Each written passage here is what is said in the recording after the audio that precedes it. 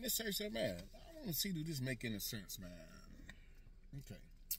Dollar Tree lifts price cap to seven dollars. Now I don't know what they talking about. They, you know, since they Dollar Tree, they going to seven Dollar Tree.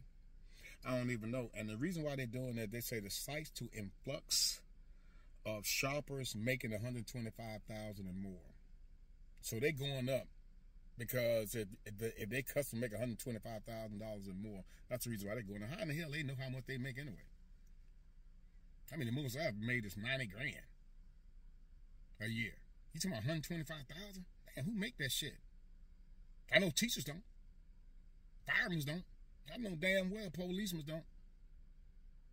FBI agent, they don't make that much. CIA agent, they don't make that much. They don't make no $125,000 a year.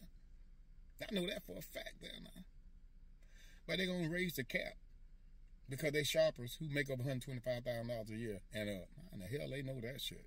Unless they show them they W-2 form, that shit don't even make sense. To me, I think they're just lying just to raise, raise the prices up. To me personally. What y'all think about it? You might not even care about Dollar Tree. But you go from Dollar Tree to seven Dollar Tree. and you might want to get something for a dollar. And now it's seven dollars. They raise the cap. You might care, might not care. But man, I like for you guys to share y'all opinion on this, man, because it's kind of crazy, really. You know, making up excuse like that. Me, you know, how the hell you know what a person made? A person come now, stinking ass clothes and everything, got a whole bunch of money. All verse vice, a person looking good and everything, got have change in their pocket. Make sense? Does this make sense? Yeah. Like I always say, man, search, search, fit that YouTube, TikTok, man, go on my YouTube channel, man, and just subscribe, man, because they show the whole video. Like I say, Instagram and Facebook only give me a minute, man. Shit. Search, search, a minute? Hell no.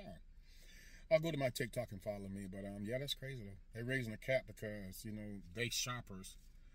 If they making one hundred twenty five thousand dollars or more, you know that's why they raising the price. That shit don't even make sense. How in the hell you gonna damn know? Search our opinion now. Search our network out.